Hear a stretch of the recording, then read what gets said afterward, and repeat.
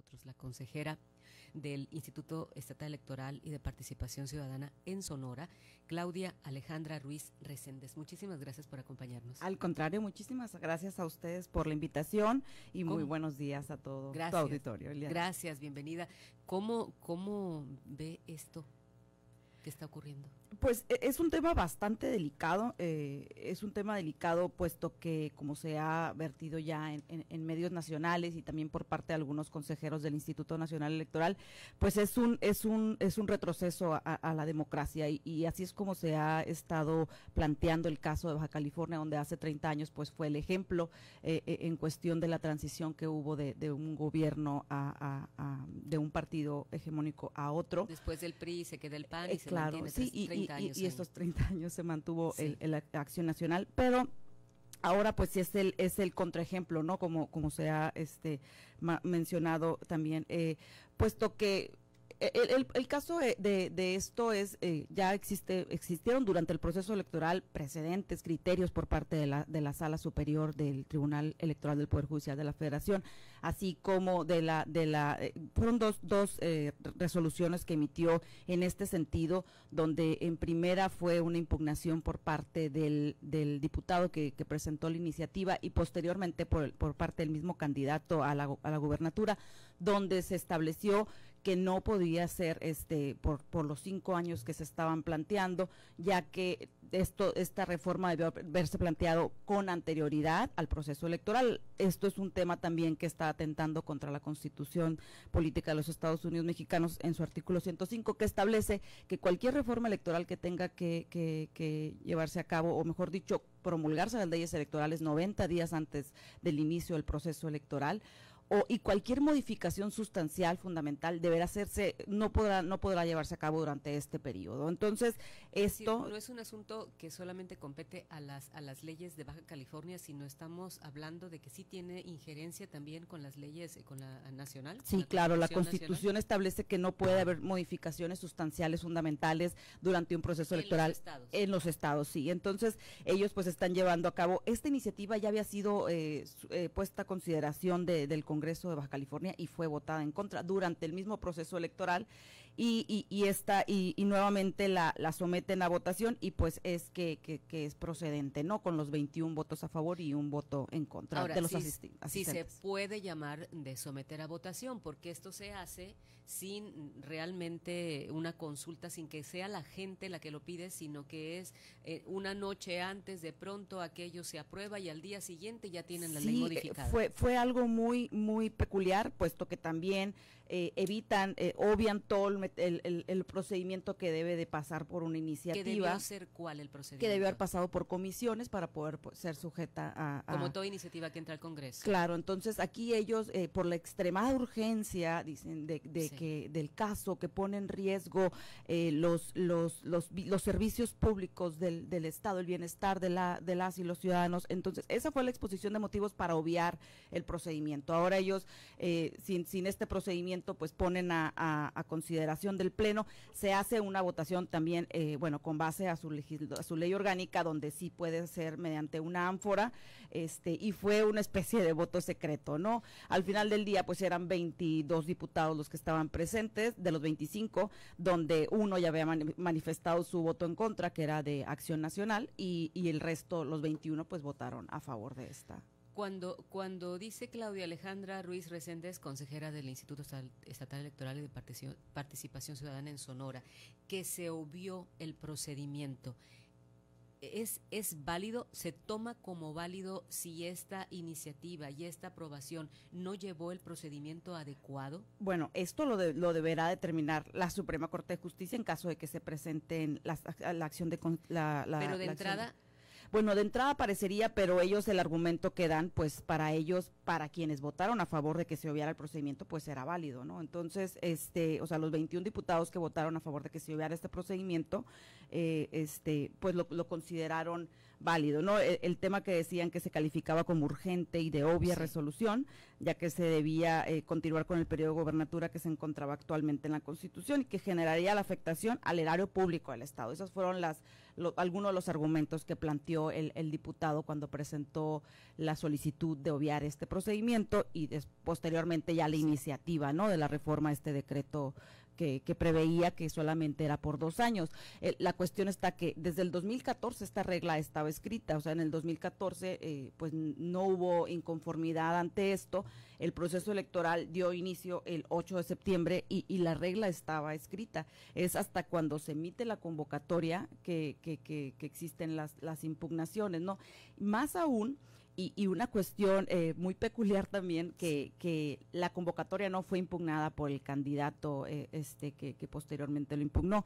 El acto que impugnó el candidato fue su propio registro, o sea, cuando se registró y que, y que se le dio su, se le concedió el registro por para ser candidato a la gubernatura por un periodo de dos años, es ahí cuando se inconforma y este es el procedimiento que se fue hasta la sala superior del tribunal y ahí es donde ya ellos, este, pues, por unanimidad de votos de, de todos los magistrados de la sala superior deciden que, que pues esto no podía ser, pues estaba, estaba mm, era durante el proceso electoral y debe, haber sido previo, ¿no? Esto está atentando contra el principio de certeza.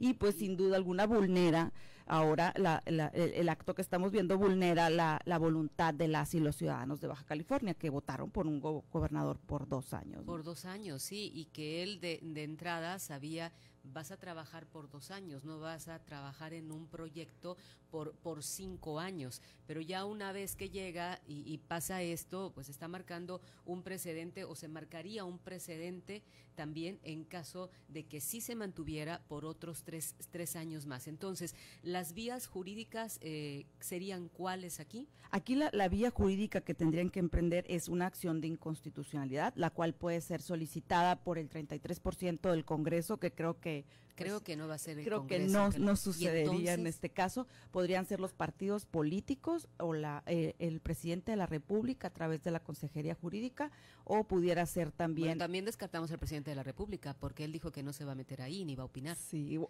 podría ser... ¿Cuáles opciones nos quedan? la, partidos, políticos y la Comisión Nacional de Derechos Humanos por estar atentando contra pues, los derechos humanos de las y las ciudadanas de, votar y ser votados. Pero la Comisión Nacional de Derechos Humanos en automático puede meterse ahí o, o tiene que haber a, ir alguien ante la Comisión de, Derechos no, Humanos? No, ellos pueden, de parte pueden hacer la solicitud. Eh, está también ya eh, eh, en el en el pues en medios nacionales que son los partidos políticos quienes están preparando esta esta acción de constitucionalidad tienen 10 días para hacerlo una vez que se publica hay un antecedente ahí también de que el gobernador actual pues eh, se va a negar a la publicación. Ahí tendríamos que ver cuál va a ser el medio para que se publique esta iniciativa una vez que ya fue aprobada por tres eh, de los cabildos de, de los ayuntamientos en, en, en, Baja California, de los cinco, ¿no? Y los propios ciudadanos también tienen esa. No, solamente son los, los, las cinco, las cinco eh, que establece la Constitución en el mismo artículo 105 se establecen estas cinco figuras que pueden presentar la acción de inconstitucionalidad. La posibilidad de que desapareciera el Congreso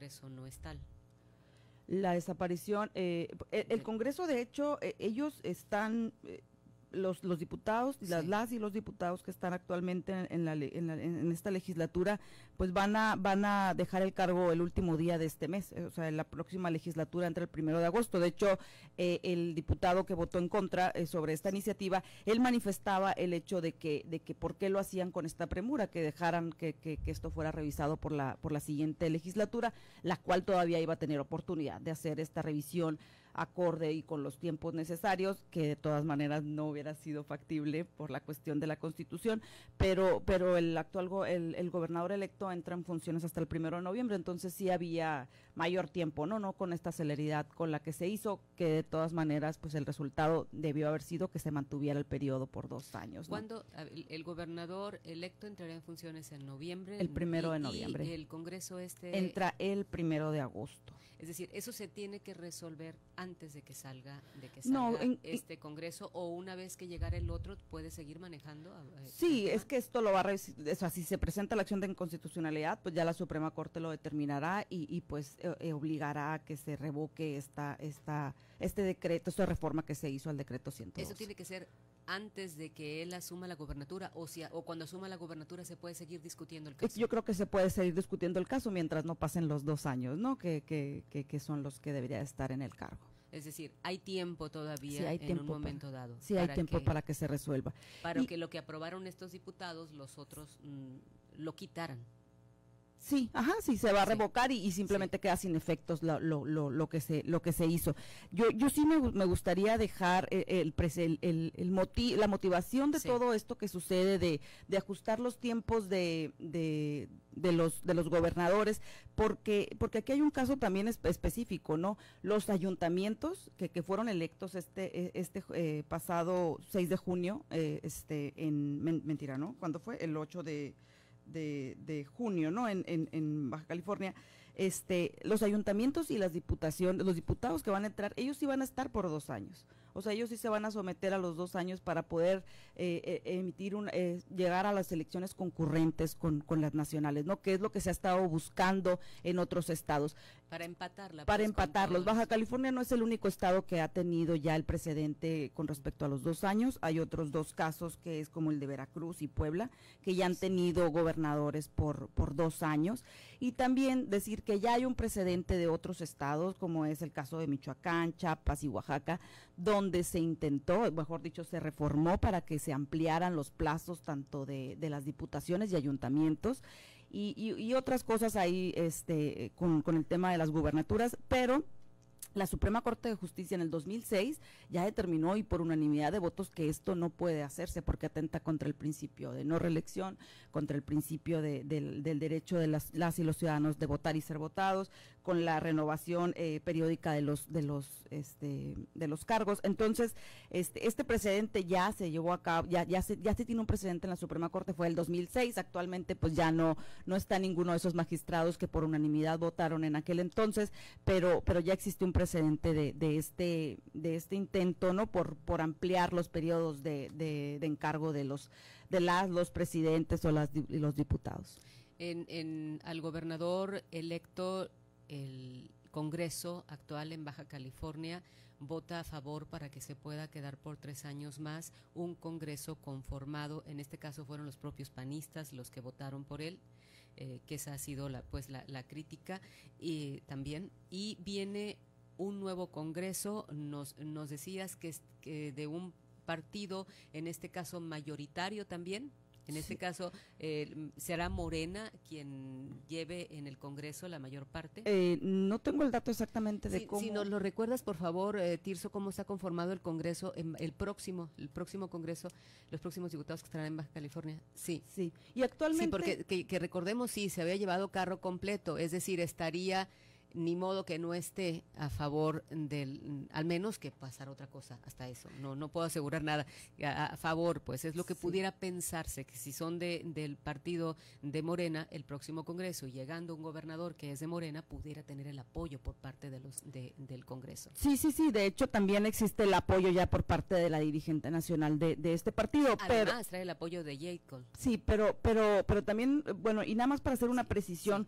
con la con la actual conformación del, Congreso de Baja California. Si bien es cierto, había diputados de Acción Nacional, eh, diputados de, Morena, también había diputados de otros, de otros, de otros, de otros partidos, como el PRI. De hecho, hay ya este procedimientos por parte de, estos partidos que te comento eh, para, para expulsar a estos, a estas estos diputados y diputadas este desconociéndolos no dentro de sus partidos políticos o sea sí son fueron algunos partidos políticos no exclusivamente de Morena y de Acción Nacional eh, porque y digo la conformación ahí está creo que también hay un partido local eh, lo que sí es que hubo tres ausencias, ¿no? Entonces sí, sí es, es importante aclarar que, que pues eran de todos los partidos. Desconocer los, sus propios partidos a ellos por, por la votación, lo que no significa lo que no significa que dejarían de ser diputados. No, pues ya, ya van a terminar su encargo, de hecho. Sí, es nada más, los desconozco como integrantes de, del partido. Sí, y expulsión, ¿no? De, y expulsión, de, sí, también expulsión. me, hicieron procedimientos. ¿Me dice los datos? Son, ¿Cómo está integrado el partido? Eh, digo, el gobierno. 25 diputados en Baja California, de los cuales la coalición Juntos Haremos Historia ganó 18 entre Morena, PT, Verde y un partido local que se llama Transformemos. El resto de los siete diputados están dos PAN, dos PRD, uno de Movimiento Ciudadano, uno PRI y uno del partido me decías de Baja California, un partido local. me está diciendo todo aquí por el audífono, lo digo como, así como me lo está diciendo el productor, gracias Tirso. Entonces, estábamos en que lo que seguiría entonces es esperar si alguien eh, va por una acción de anticonstitucionalidad. Sí, primeramente pues a que se esperaríamos a que se publique esta esta reforma y, y, a que los partidos políticos que, que, ya lo que ya lo manifestaron presenten esta acción de inconstitucionalidad. Antes no se somete, no se mete esta acción, hasta sino hasta que se publique. Sí, una vez que está publicado, así es el así es el procedimiento, entonces esperaremos a ver qué resuelve la, la Suprema Corte de Justicia y pues sí estaremos muy atentos no ante este precedente porque porque sí este y también se ha comentado pues sería un, un, un, precedente que, que, abre la puerta a, muchas otras opciones, no solamente en Baja California, sino en otros estados, eh, en, en, permitir que se, que se acorten o se amplíen eh, los, los periodos para, para gobernar, ¿no? Entonces, este es un tema delicado, pudiera pasar a nivel local, pudiera pasar a nivel nacional, entonces sí es algo que, que debemos de de cuidar y pues porque está establecido en nuestra en nuestra constitución. además que fue un, un gobernador electo eh, en un proceso, en un proceso, en un acto democrático que, que son unos unos cuantos de una forma que no es por la vía conducente, en este caso, deciden de pronto darle más años en el alargar su gobierno. Claro, o sea, el, aquí el Poder Legislativo pues no puede venir a a, revertir lo que la ciudadanía este, manifestó en, en, las, en las urnas. Pues muchísimas gracias.